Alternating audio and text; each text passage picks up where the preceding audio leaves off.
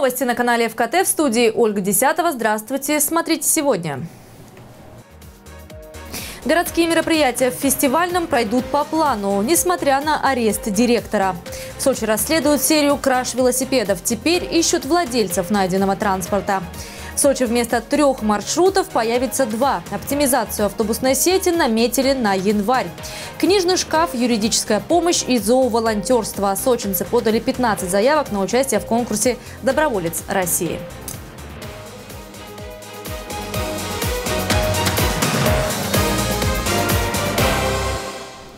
На Кубани около 26 тысяч обманутых дольщиков получили свои квартиры. Надежда появилась еще у трех тысяч человек, которые годами ждут свое жилье в Краснодаре и Новороссийске. Чтобы достроить их дома, уже найдены инвесторы. Намерения скрепили подписями в соглашениях в присутствии губернатора края и заместителя генпрокурора страны. А после Вениамин Кондратьев и Андрей Кикать провели совещание и обсудили механизмы защиты прав дольщиков. Под уголовным преследованием на Кубани 147 застройщиков и 19 должностных лиц. Все дела в рамках масштабной работы по защите прав обманутых дольщиков. Ее совместно с прокуратурой краевые власти начали чуть меньше года назад. И сегодня на встрече главы региона с заместителем генпрокурора России подводят промежуточные итоги. Как и было заявлено ранее, избежать ответственности не получится ни у кого. Это и руководство муниципальных образований, и судебные приставы, и эксперты, а также сотрудники органов Росреестра. В настоящее время в рамках этих уголовных дел 55 обвиняемых содержатся под стражей, 22 под домашним арестом. Могу сказать, что на данный момент работа продолжается, по всем делам ведется расследование, они находятся на контроле Генеральной прокуратуры. На примитивном примере и дома эти строились, никто не контролировал и почему-то не заглядывал ни в сроки, которые были заявлены э, в соглашениях, в договорах, в обязательствах застройщика прошло время, и, конечно, намного дороже нам уже сегодня стало восстановить права обманутых дольщиков. Намного дороже. И сегодня, тем не менее, мы можем заявить, что 26 тысяч дольщиков в Краснодарском крае, большая часть уже получили свои квартиры, и их права восстановлены. Помощь дольщикам, которые так и не смогли получить свои квартиры, это еще один самый важный этап совместной работы. В присутствии губернатора края и заместителя генпрокурора России заключают соглашение между инвесторами и мэрами Краснодара и Новороссийска. Подписи скрепили намерение завершить строительство 9 домов, а это больше трех тысяч человек, которые получат свои квартиры. Новый краевой закон предусматривает экономические преференции компаниям, которые готовы взяться за проблемные дома. Однако размер компенсации не может превышать реальных затрат, которые в итоге понес застройщик. Мы сегодня восстанавливаем права обманутых дольщиков за гораздо меньшую компенсацию по тем объемам, которые э, вы восстановили сегодня, чем э, компенсация, которая вчерашней властью вам была обещана. Соразмерность компенсации, коллеги, вот что самое главное. А когда у нас, допустим, там за 100 миллионов дается 36 участков, по Краснодару, в любом месте, куда, ну, коллеги, это, это, это, это не компенсация, это злоупотребление. Сегодня есть закон, краевой закон. Давайте в рамках закона пересмотрим тогда наши взаимоотношения. Наша конечная цель – это реальная помощь людям в виде передачи квартир, которые уже они и так длительное время ждут. Сегодня уже разрешены проблемы в отношении 121 дома, 50 из них было достроено и введено в эксплуатацию, а 65 объектов оказались заложниками формальных проблем. С этими проблемами мы также разобрались, и в результате дома полностью введены в эксплуатацию, квартиры переданы людям. Предусмотрели в новом законе и различные ситуации, с которыми могут столкнуться при завершении строительства дома. Ведь уже сегодня известны случаи, когда недобросовестный застройщик не просто бросил дело на полпути, но и всячески препятствует, чтобы этот объект передали другому инвестору. Теперь этот процесс должен заметно ускориться. Найдено решение и этой проблемы. Мы совместно с губернатором разработали и приняли принципиально новый региональный закон. В нем продуман механизм, позволяющий принудительно изымать недостроенные объекты вместе с земельными участками и передавать их новым инвесторам и застройщикам, которые имеют возможность и желание завершить строительство. Для более быстрого поиска решений по каждому объекту на Кубани создали реестр проблемных домов. В него вошли не только многоэтажки, которые возводились на деньги дольщиков, но и самострои. Всего их получилось около полутысячи. За последние 8 месяцев из этого списка удалось исключить больше 120 домов. А это значит, что люди получили свои квартиры. До конца года из реестра исключат еще 47 объектов. И уже найдены инвесторы для 30 проблемных многоэтажек. Но впереди предстоит немало работы, обращает внимание Вениамин Кондратьев. Работа с застройщиками должна носить системный характер, системный, ежедневный если хотите, ежечасный, чтобы мы снова не поимели э, вот такое количество обманутых дольщиков. Проблема будет снята тогда, когда мы каждому дольщику дадим возможность реализовать свое право и вселиться в его квартиру. И проблема будет снята. Только тогда она будет снята. Все остальное это будет уже болтовней со стороны власти. А еще раз подчеркиваю, власть это для людей, для жителей края, это все мы вместе взятые. Именно поэтому требования ужесточили и к выдаче разрешений на строительство. За последние полтора года власти Кубани отклонили 175 заявлений застройщиков, которые планировали возведение домов с долевым участием. Мария Крошна, Александр Иванченко, Денис Москаленко и Алексей Комаров, Кубань-24, Краснодар. Почти миллион запросов в Росреестр направили жители Кубани с начала этого года. Сегодня с руководителем ведомства встретился глава региона. Управление Федеральной службы госрегистрации и кадастра по Краснодарскому краю Александр Долгов возглавил меньше, чем две недели назад. В ходе встречи обсудили специфику работы в регионе. Вениамин Кондратьев отметил, что от решения многих вопросов, которыми занимается ведомство, зависит улучшение жилищных условий кубанцев. За каждым обращением к вам э, стоят люди, это обращение людей, а подчас селян, которые не то, что не знают, как заявление написать. Они никогда в жизни э, не были в этих кабинетах и в этих учреждениях.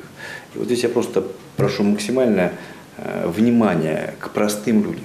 Не зачтите за труд еще раз, лишний раз, где-то им объяснить человеческим простым языком, что от них нужно, чтобы они могли поставить свой дом, свою земельку на кадастровый учет, сделать из него объект недвижимости, в случае необходимости продать или даже оставить по наследству своим детям, ну, я прошу именно такого отношения в работе. Евгений Иванович, спасибо вам за высокое доверие, оказанное мой адрес. Я всеми силами буду стараться воплотить его в качественную работу. Поставленные вами задачи, безусловно, будем выполнять с высокой долей ответственности, так как Росреестр является сервисной службой, то есть службой, предоставляющей государственные услуги. Всеми силами будем стараться, чтобы качество этих государственных услуг было на высочайшем уровне. Также на рабочей встрече обсудили вопросы контроля землепользования. Свободной земли на Кубани практически нет, а участки при этом стоят довольно дорого. Как обратил внимание Вениамин Кондратьев, сегодня важно, чтобы они не были заброшенными и использовались по назначению. И во многом этот вопрос зависит от принципиальной позиции руководства Росреестра, отметил глава региона. Мы аграрный регион, и очень важно, чтобы земля качественно использовалась и э, здесь э, целевое использование, особенно земли, соблюдалось. А у нас сегодня встречаются факты, и они, к сожалению, не единичны, где целевое использование земли нарушается. У вас есть право актировать э, в рамках административного кодекса, э, накладывать штрафы. Ваши акты э, служат основанием для того, чтобы органы госвласти обратились с иском в суд об изъятии земли у ненадлежащего или арендатора, или даже собственника. Поэтому здесь тоже ваша позиция должна быть принципиальной. Еще раз подчеркиваю, что сегодня каждый клочок Каждый квадратный метр э, кубанской земли, он очень дорого стоит. И просто, чтобы она простаивала или прогуливала, э, ну это недопустимо. В зоне внимания Росреестра и деятельность арбитражных управляющих при банкротстве. По словам Вениамина Кондратьева, в первую очередь они должны руководствоваться принципом оздоровления экономики, как отдельного предприятия, так и в целом края. Насколько этому будет соответствовать работа арбитражных управляющих, также в числе принципиальных задач Росреестра. Галина Моисеева, телекомпания ФКТ. Городские мероприятия в фестивальном пройдут по плану. Об этом заявила заместитель главы Сочи Ирина Романец. Напомню, в Сочи арестовали директора концертного зала. Суд отправил его под домашний арест. Исполняющим обязанности директора фестивального назначена бухгалтер концертного зала. А власти города выразили надежду, что правоохранительные органы разберутся в ситуации. Евгению Паснюку инкриминируется растрата в 1 миллион 300 тысяч рублей. Также отмечено, что концертный сезон продолжится, как обычно, до середины осени. Городской праздник, посвященный Дню учителя, также намечено провести в концертном зале «Фестивальный». В Сочи расследуют серию краш велосипедов. Задержаны подозреваемые. Следственным отделом Хостинского района УВД возбуждено несколько уголовных дел в отношении 39-летнего местного жителя и 33-летнего уроженца сопредельной республики по статье «Кража». Мужчины проникали в подъезды многоквартирных домов и похищали велосипеды. Уже установлена причастность задержанных к восьми таким преступлениям. Общая сумма ущерба составила более 200 тысяч рублей. Мужчинам грозит максимальное наказание в виде лишения свободы на срок до пяти лет. Мы просим всех жителей и гостей нашего города, кто опознал свое похищенное имущество, сразу же незамедлительно сообщить в полицию по телефону 02. Комфортный проезд. В Сочи появится новая маршрутная сеть. Поэтапная оптимизация начнется с 1 января и продлится до конца 2019 года. Одно из важнейших изменений – введение новых маршрутов. Это номер один и номер 11. Они будут курсировать по курортному проспекту, улице Виноградной, Донской, Транспортной и Яна Фабрициуса. Номер один будет ходить с Донской в сторону Краснодарского кольца, а номер 11 будет идти ему навстречу, начиная двигаться с Донской в сторону Виноградной. Соответственно, будут отменены дублирующие их номер 1, 17 и 47. Еще одним нововведением будет перевод части пригородных маршрутов на городские, многотарифные. В частности, это касается Адлерского и Лазаревского направлений. Например, маршруты номер 125 и 155 станут городскими. Таким образом, льготники смогут пользоваться проездными и доехать до Адлера и Лазаревского со скидкой 50%. Также в городе планируется замена автобусов малой вместимости. Это Богданы и Hyundai. На их смену придет транспорт, оснащенный кондиционерами, пандусами для маломобильных пассажиров и терминалами для безналичной оплаты проезда. В следующем году в Сочи появятся новые автобусы, специально адаптированные для маломобильных пассажиров. Об этом стало известно сегодня на заседании Совета по делам инвалидов при главе города Сочи. Были подведены итоги работы по обеспечению требований доступности на городских объектах. Глава города Анатолий Пахомов отметил, что в фан-зоне, построенной к чемпионату мира по футболу, были отведены места для болельщиков с инвалидностью. Также к проведению Мундиаля в Сочи дополнительно было приведено к требованию доступности 56 объектов.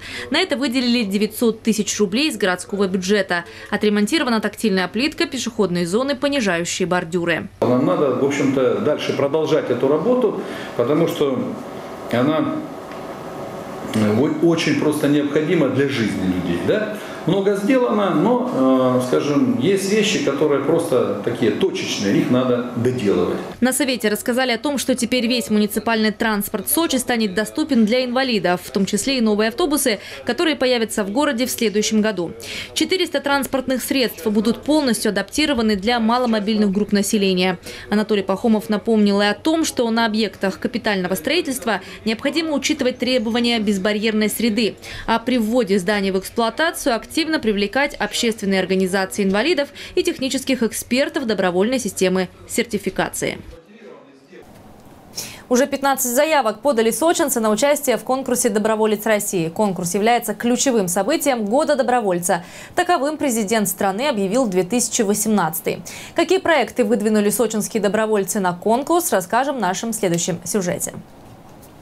Андрей Саакян – студент, будущий юрист, но уже сегодня помогает ветеранам отечественной и локальных войн в сложных правовых вопросах. Студенты и преподаватели университета юстиции запустили проект «Согреем сердца, опаленные войной». Это юрпомощь на колесах, бесплатные консультации по всему Большому Сочи. Люди такого поколения, они на сегодняшний день не особо подкованы. Для этого именно и работает наша группа. Студенты жаждут оказать какую-либо помощь нашим ветеранам, чтобы они чувствовали себя более комфортно. Этот проект университет выставил на ежегодный всероссийский конкурс «Доброволец России». Он призван поддержать и развивать лидеров добровольческого движения и их проекты. Многие видели в Сочи вот этот шкаф с книгами, которые можно почитать и вернуть, взять себе на память или пополнить коллекцию этой мини-библиотеки своими любимыми изданиями. Но немногие знают, что автор проекта «Читай Сочи» – студентка Александра Коваленко. Ты принес книгу, оставил э, для других людей, поделился тем, что ты прочитал. Мы хотим создать условия для приобщения к чтению маленьких детей, студентов, молодежи и, конечно, старшего поколения города. Этот бокс появился в сквере недалеко от мэрии несколько лет назад и уже полюбился сотням любителей чтения и последователей буккроссинга. Это движение по обмену книгами. Часто приходят люди, я в том числе часто посещаю, здесь очень много разной литературы на любителя. Кто любит художественную, кто техническую. А вы знаете, как, когда у меня есть свободная минута, я прохожу мимо, я стараюсь обязательно подойти и посмотреть, что там такое, потому что любой читающий человек меня поймет. У нас э, во Владивостоке точно такой же, только он более раритетный и стеклянный. Мне кажется, это сказочное такое место, когда такие вещи стоят, прям завораживают, э, притягивают людей к себе. Такие добрые слова, говорит автор проекта Александра, это лучшая награда. В будущем хотелось бы установить такие книжные шкафы во всех районах Сочи. И в этом мог бы отлично помочь конкурс «Доброволец России». Ведь для победителей в честь Года добровольца предусмотрены гранты до миллиона рублей. Ребята могут участвовать с 8 лет и, соответственно, до бесконечности. Есть специальные а, номинации для волонтеров серебряного возраста. То есть, в принципе, каждый доброволец может найти для себя ту нишу, в которой он сможет поучаствовать именно в данном конкурсе. Конкурс «Доброволец России» – социальный лифт для волонтеров. Проекты победителей будут тиражироваться по всей стране. Из Сочи уже подано 15 заявок. У остальных желающих время есть до 15 августа. Нужно просто зайти на сайт «Добровольцы России РФ» и заполнить заявку. Финал конкурса намечен на 5 декабря. Галина Моисеева, Ольга Десятова, Михаил Дубинин, телекомпания ФКТ. Завтра в Сочи открывается летний фестиваль «Музыкальное соцветие». Он проводится в нашем городе второй раз и собирает на одной площадке в парке науки и искусства «Сириус» солистов мировой величины. А 3 и 4 августа стартует еще один фестиваль классической музыки «Морская симфония» уже на центральной площади Олимпийского парка. Сегодня мы выяснили все нюансы предстоящих культурных событий у заместителя главы города Ирины Романец и художественного руководителя образовательного фонда «Талант и успех» Ханса Йоахима Фрая. 3-4 числа пройдет презентация, и два дня будет звучать э, великая итальянская опера «Сельская честь». И э, эта опера со всеми э, интригами, с накалом, с великой итальянской музыкой э, под открытым небом, э, конечно же, э, придаст свое очарование и по-новому раскроет наш Олимпийский парк. И второй проект, который мы представляем, это уже второй фестиваль классической музыки э, на базе э, Центра э, науки и искусств «Сириус» с 28 июля и продлится до 15 сентября. Пройдет 7 потрясающих концертов. Каждый концерт будет неповторим. Организатором вдохновителей этих концертов стал Центр «Талант и успех», фонд «Талант и успех». И господин Фрай, художественный руководитель, так подобрал и исполнителей, так подобрал и музыкальный материал, который будет звучать в рамках этих семи концертов, что мы, конечно, все с нетерпением, любители музыки э, города Сочи, наши гости, с нетерпением ждем вторых, э, второго фестиваля классической музыки. На мой взгляд, наиболее интересное будет представление 3 и 4 августа концертное исполнение наиболее прекрасной итальянской оперы «Сельская честь» Петра Масканги. 75 минут музыки, романтической, страстной, о жизни социалистской деревни со всеми переживаниями и эмоциями. Ну и к новостям из интернета. Волк или не волк? В соцсетях обсуждают видео, которое, как утверждает автор, снято в районе Мацесты. Едем по Мацесте, наблюдаем вот такую картину. Волк. Волк поймал курицу. Мнения разделились. Волк это или пес. Одно несомненно, охота удалась. К сожалению, для владельца курицы. Ну и еще одна новость. В Сочи этой ночью можно будет увидеть кровавую луну. Полное лунное затмение будет продолжаться почти 4 часа и станет самым долгим в 21 веке. За это время луна окрасится в красный цвет. По расчетам астрономов начнется затмение в полдесятого вечера. В 21 час у цирка энтузиасты установят телескопы для наблюдения за этим уникальным явлением. Ну и на этом наш выпуск завершен. Все новости уже на нашем сайте fkt.com. В студии была Ольга Десятова. Всего доброго. До встречи в эфире.